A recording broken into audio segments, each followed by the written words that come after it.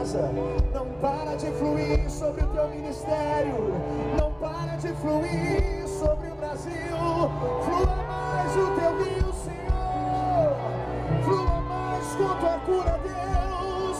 Oh, sobre Natal, vem sobre o Rio Grande do Norte,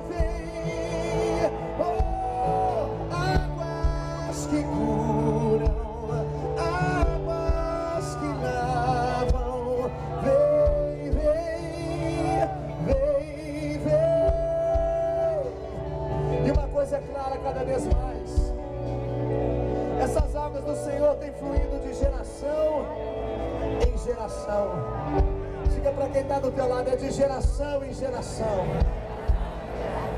Um após o outro.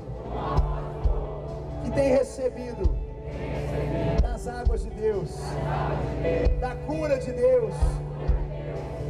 E hoje aqui no Rio Grande do Norte. Flui o rio de Deus nesse lugar.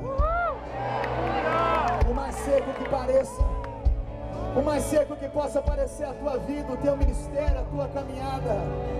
O rio de Deus é abundante, é pleno, é total, é absoluto e é irresistível. Nenhuma muralha que o inimigo tente levantar contra a tua casa, contra a tua vida, poderá deter o fluir do rio de Deus, poderá deter a grandeza do fluir na nossa geração. Há um mandato de Deus sobre nós, há uma ordem de Deus. Diga comigo: esse rio flui na minha vida, esse rio flui na minha casa, e de geração em geração flui o rio de Deus. Levanta a tua mão direita e começa a clamar e pedir a Ele: flua Deus, flua o teu rio de cura na minha vida. Oh, você que está enfermo, deixa fluir o rio de Deus no teu corpo agora. Você que tem dores no teu corpo, você que está aqui nesse lugar. Você sabe que é o poder de Deus e ele é irresistível. É como uma água mais forte que o tsunami que vem. É o rio de Deus e a glória de